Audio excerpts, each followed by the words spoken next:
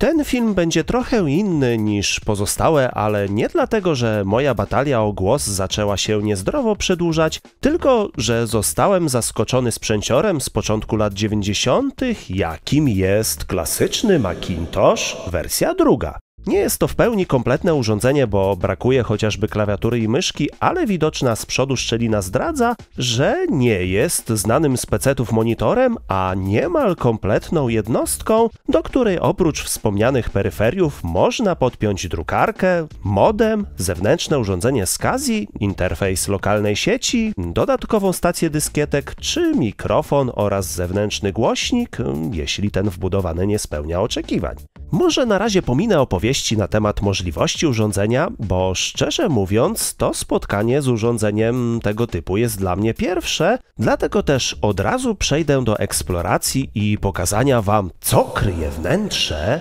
bo moja przygoda z bohaterem odcinka zaczęła się jeszcze w zeszłym roku, gdzieś w okolicy przedwakacyjnej, kiedy jeden z moich dobrych znajomych i zarazem widz tego kanału pokazał mi, co kupił na eBayu w cenie okazyjnej. Podobno poprzedni właściciel próbował go nawet kilka razy uruchamiać, ale u widza tak było, że już po samym podpięciu tego sprzęciora do zasilania bezpieczniki wybiło. W każdym razie, jak już pojawił się u mnie, to ekspresowo został przeze mnie kilkoma pomiarami zbadany i wyszło, że główny MOSFET przetwornicy impulsowej jest zwarty, co znaczy, że kwalifikuje się do wymiany. Nie mając dokładnie takiego samego pod ręką, do celów testowych podobny parametrowo, a nawet mocniejszy dobrałem, a po jego wlutowaniu i odpaleniu, na razie bez płyty głównej, tylko odgłosy godowe świerszczy usłyszałem. Pamiętając perypetie z stacją lutowniczą, zasugerowałem widzowi, że układ z salony przetwornicy mógł też się spalić, więc dopiero po tygodniu, albo może nawet i dwóch, jak już miał ten układ, znowu w kwestii naprawy żeśmy się spotkali. Po wymianie scalaka oraz wmontowaniu właściwego tranzystora ponownie odpaliliśmy blok analogowy, ale niestety przetwornica bardzo podobnie grała, a wartości napięć wyjściowych jak na srogiej imprezie szalały. Nie pamiętam już, czy cokolwiek sugerowałem widzowi, by zrobił samodzielnie, ale dopiero pod koniec roku nastała pora, by ponownie spotkać się i po tak długiej przerwie ponownie podejść do sprzęciora, by dojść do wniosku, że dobrze byłoby pomyśleć też o wymianie termistora. Poza tym, podczas lutowania okolic zasilacza płyta tak bazarem rybnym mi zajechała, że aż o śledziku śmietanie przypomniała, ale w przypadku elektroniki chyba nie muszę mówić, co ją trapi, tylko od razu rzucam hasło recapping. Na pierwszy ogień poszły kondensatory po stronie wtórnej, bo zazwyczaj to one jako pierwsze wraz z elektrolitem tracą swoje parametry i racząc się aromatami zdechłych ryb oraz zauważając, że trzymająca je cyna zamiast topić się jak w innych miejscach raczej się kruszy, sztuka po sztuce na dedykowane do przetwornic, czyli z niską rezystancją szeregową, powymieniałem. Ponowne odpalenie zasilacza uświadomiło mi, że jeszcze daleko do celu byłem oraz to, że przy wlutowywaniu jednego z kondensatorów się pomyliłem. Wtedy też dostrzegłem, że kondensatory z dielektrykiem stałym przy transformatorze też trzeba wymienić na nowe, ale po tym zabiegu kultura pracy przetwornicy nadal nie dawała spokoju mojej głowie. Aby jakkolwiek zrozumieć problem, różnych pomysłów się chwytałem, chociażby wyprowadzając punkty testowe w sekcji wtórnej, pod które oscyloskop podpinałem, podobnie jak sztuczne obciążenie, ale już tylko do wyjść zasilacza, czy nawet uskuteczniłem zwrotną wymianę układu przetwornicy, bo jednak część zamienna nie jest dokładnie tym samym układem, ale w końcu wpadłem na pomysł, by wymienić elektrolity przy układzie przetwornicy, która po tym zabiegu o dziwo wariować przestała, ale patrz patrząc na napięcia wyjściowe, trochę za niski woltaż dawała.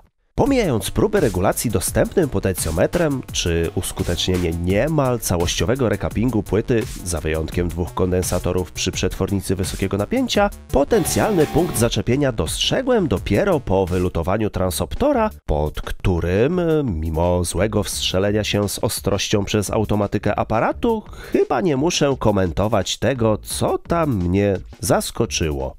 Wtedy też uskuteczniłem festiwal marnotrawstwa, jakim było płukanie części płyty izopropanolem i jej przeczyszczenie, ale dla lepszego działania miało to co najmniej marginalne znaczenie. Rozpocząłem więc polowanie na szczegóły, czyli sprawdzanie parametrów wszystkich kondensatorów w obwodzie generatora, które szybko przerodziło się w sprawdzanie każdego z elementów, polegające na wylutowaniu, pomiarze parametrów, wyczyszczeniu zalegającego na nim oraz pod nim szlamu, którego poprzednie mycie ruszyć nie zdołało i w każdym przypadku po stwierdzeniu zgodności parametrów, a w przypadku diod sprawności, flutowaniu z powrotem na miejsce. Ponieważ kończyły mi się już pomysły, a z części, których nie sprawdziłem po stronie pierwotnej został tylko transformator, jeszcze raz przyjrzałem się transoptorowi, którego tranzystor odbiorczy został przy pierwszym kontakcie z testerem dziwnie rozpoznany i znajdując w zapasach może nie identyczny, ale zgodny z wyprowadzeniami i symbolem na schemacie, posunąłem się do jego wymiany. Jeśli jednak ktoś pomyślał, że to zauważalną poprawę dało, to po podłączeniu zasilania okazało się, że nowy transoptor to jeszcze za mało. Wtedy też podszedłem do problemu od strony noty katalogowej układu przetwornicy, by zauważyć, że według przykładowego schematu aplikacyjnego ten nie był przez producenta do takich rozwiązań projektowany, a został przez konstruktora zasilacza, że tak powiem, lekko schakowany. Pin numer 1 układu służy do regulacji napięcia wyjściowego i wpięty do dzielnika napięcia transoptor w przypadku zadziałania, czyli zasygnalizowania przekroczenia napięcia po stronie wtórnej, niejako przełącza napięcie dawane przez przetwornicę z wyższego na niższe, co też udało mi się dostrzec, jak testowo zwierałem nóżki transoptora, więc ciekawe co by się stało, jakbym zmienił parametry dzielnika tak, aby było ono zgodne z założeniami, czyli nieco większe przy nieaktywnym transoptorze, i mniejsze przy aktywnym. W pierwszym podejściu zrównoleglając rezystor RP4 nawet udało mi się podbić napięcie wyjściowe, niestety kosztem zmniejszenia różnicy między napięciami przy aktywnym i nieaktywnym transoptorze, więc zamiast zmniejszać rezystor przy masie trzeba zwiększyć wartość rezystora RP17, którego wymiana na niemal 5-kiloomowy pożądany efekt dała, lecz wciąż wartość napięcia wyjściowego była za mała. Zamieniłem więc rezystor na 10-kiloomowy potencjometr, lecz po tym zabiegu zostałem w ten sposób zaskoczony, że jak uaktywnił się transoptor, to już nie chciał puścić, nawet jak potencjometr został z powrotem na 5-kiloomowy rezystor zamieniony. Pomyślałem sobie, że pewnie coś się zadziało z precyzyjnym regulatorem napięcia, więc go podobnie jak tranzystory zabezpieczeń wylutowałem i sprawdziłem, ale dopiero jak potencjometrem PP1 napięcie bliskie 2,5 V ponownie na pinie regulacyjnym ustawiłem, to na 12V wyjściu stabilne 12 po raz pierwszy zauważyłem. Jako ciekawostkę pokażę, że taki zasilacz stabilizowany nie jest w stanie w pełni stabilizować wszystkich napięć wyjściowych i w przypadku mocniejszego obciążenia linii 5V wzrasta napięcie na 12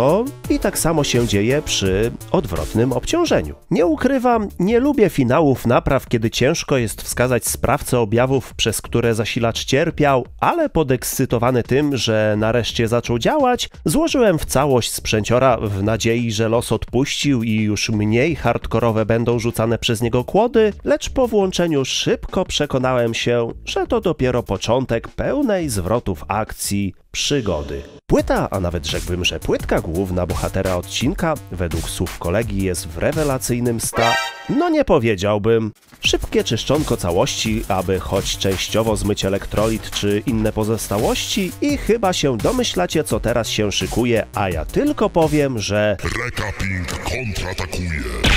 O tym, jaki postęp technologiczny dokonał się od momentu produkcji bohatera odcinka, może świadczyć to, że dziś zarówno jedno, jak i nawet 10-mikrofaradowe kondensatory elektrolityczne mogą bez problemów zastąpić ich odpowiedniki ceramiczne. O ile w większości przypadków rozlód szczypcami bądź dwiema lutownicami naraz dawał radę, to jednak trafiły się dwa przypadki z przeżartym albo też kombinowanym przez poprzedniego właściciela padem, który, aby uratować, musiałem z kawałka miedzianej blaszki brakujący fragment zrekonstruować. Po przyklejeniu epoksydem, zlutowaniu, sprawdzeniu ciągłości zrekonstruowanych połączeń, kondensatory pod kątem zwarć sprawdziłem, utlenione spoiny w większości układów oraz na samym procesorze odświeżyłem, by następnie po wyczyszczeniu całości stopnika znowu bohatera złożyć w całość, włączyć i przekonać się, że to nie zabanglało.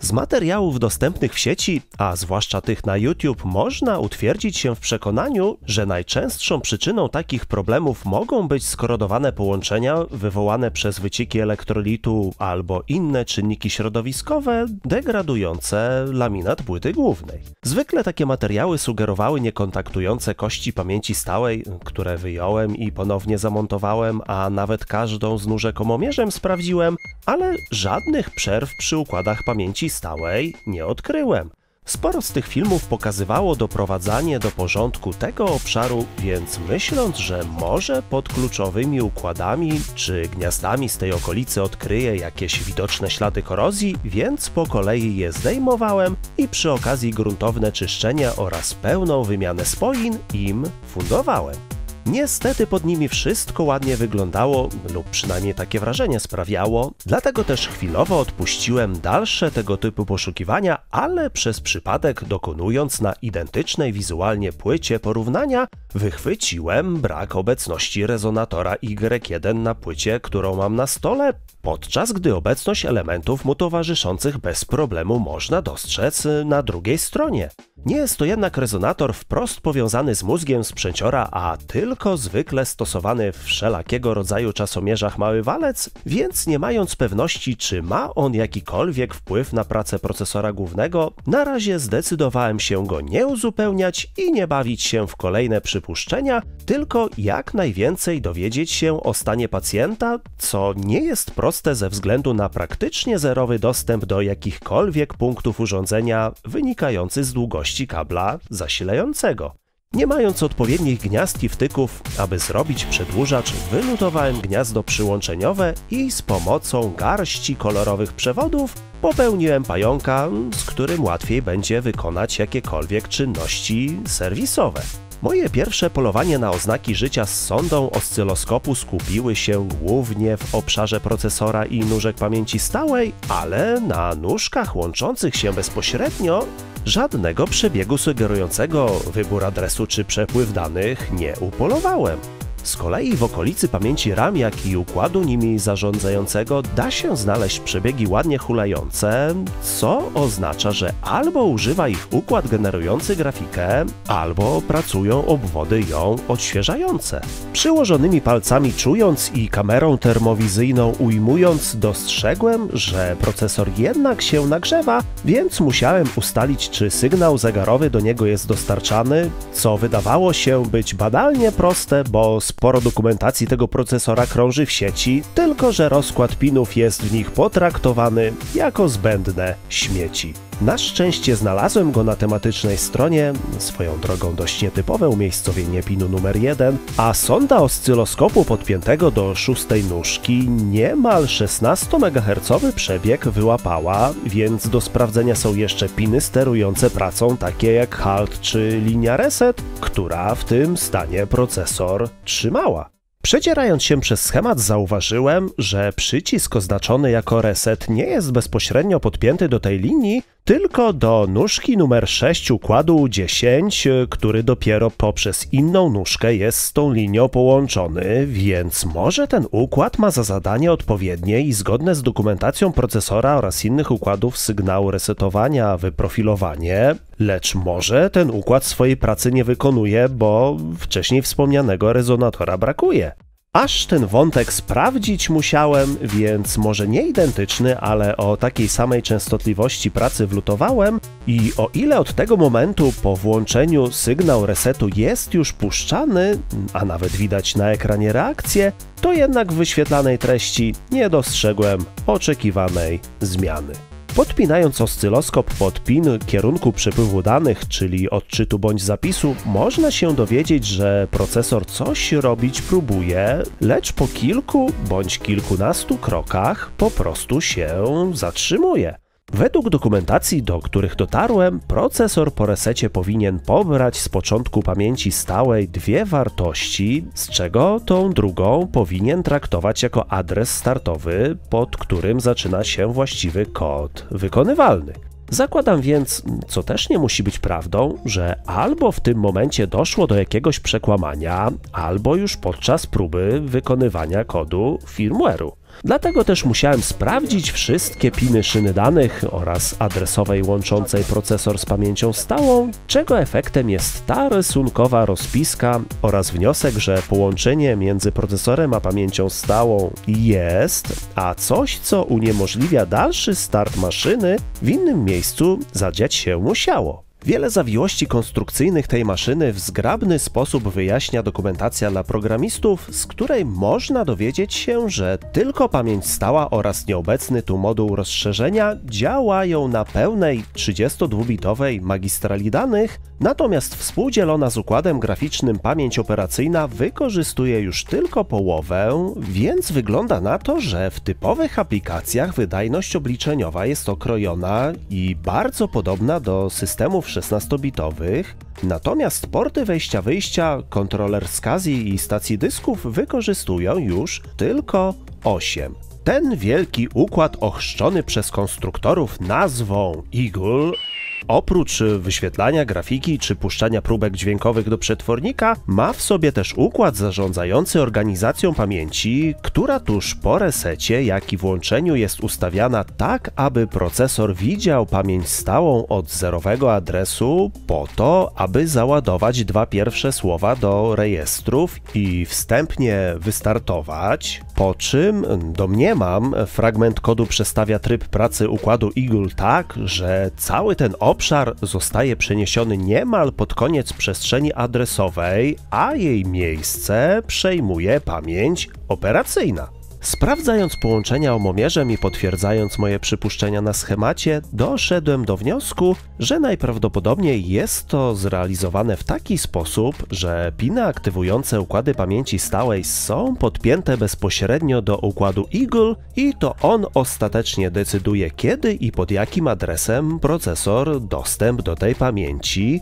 uzyskuje. Zarówno podczas włączania, jak i po zresetowaniu urządzenia daje się zauważyć na ekranie podpiętego do tej linii oscyloskopu przebiegi, choć moim zdaniem to co zarejestrowałem wygląda co najmniej dziwnie, ale może to też być efekt zbyt dużej podstawy czasowej streszczając wszystkie zabawy z bohaterem odcinka, oprócz kondycji połączeń pamięci stałej z procesorem, sprawdziłem też magistralę adresową między procesorem a układem Eagle, 16-bitową magistralę danych między procesorem a układami buforów trójstanowych, do tego po drugiej stronie, czyli od buforów do układu Eagle czy części pamięci RAM oraz magistralę danych kontrolerów wejścia-wyjścia, czyli SCSI i stacji dyskietek. Wykonałem Wykonałem też eksperyment polegający na wylutowaniu i zamianie miejsc układów buforów trójstanowych, będących pomostem między pamięcią operacyjną a procesorem i widząc, że bez nich procesor pracuje cały czas, a po ich zamianie obraz też uległ zmianie,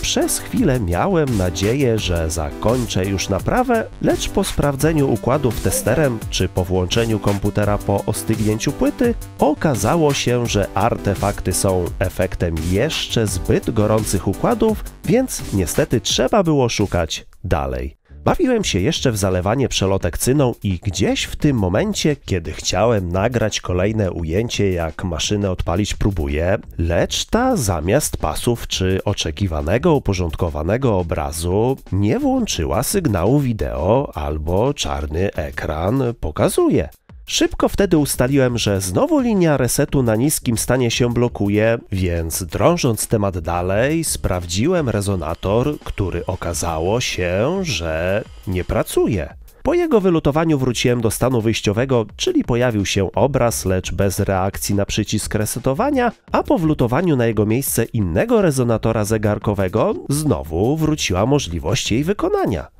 Co mogło spowodować uszkodzenie poprzedniego rezonatora? Szczerze mówiąc, nie wiem, co się do tego przyczyniło, ale przynajmniej daje to trochę światła na zagwostkę, dlaczego tej części w bohaterze odcinka nie było. Mając na uwadze, że styczeń się kończy, a ja w związku z stanem zdrowia ani nie zdołałem przygotować czegoś alternatywnego, ani też w tym miesiącu jeszcze nie wrzuciłem na kanał niczego, postanowiłem się na sukcesie naprawy nie fiksować, tylko korzystając z efektu burzy mózgów, na razie to, co do tej chwili mam i ustaliłem, zmontować i opublikować. Podpiąłem jeszcze bohatera odcinka do analizatora stanów logicznych, którego końcówki powędrowały do sygnału resetu, kierunku przepływu danych, aktywności buforów przepuszczających dane między procesorem a pamięcią RAM, linii aktywującej pamięć stałą, do ostatniego i zerowego bitu magistrali danych oraz dwóch najmłodszych bitów linii adresowej, by dowiedzieć się, że podczas resetowania dużo na tych liniach się dzieje, a po puszczeniu procesora do normalnej pracy wygląda na to, że pamięć stała chwilę później jest dezaktywowana, a piny magistrali adresowej na pewno nie odwołują się do zerowej komórki, jednakże kilka cykli zegara później aktywność tej pamięci jest przywrócona i dzieje się coś, co przypomina odczyt zerowego i kolejnego adresu pamięci, jednakże nie mam stuprocentowej pewności, bo nie jestem w stanie podejrzeć pozostałych bitów magistral oraz sygnałów strobe, które stan ustalony tych magistral potwierdzają. Oprócz większej ilości końcówek pomiarowych analizatora, fajnie byłoby mieć też możliwość porównania wykresów z działającą maszyną, bo może nie połączenia magistral są przyczyną, a mikrokontroler, który nie tylko linią reset czy przerwaniami steruje, ale też dedykowaną magistralą z układem Eagle się komunikuje. Mimo wszystko, według mnie bardziej prawdopodobne jest to, że pierwotną przyczyną usterki mogły być spowodowane przez elektrolit z kondensatorów zniszczenia środkowych warstw płyty,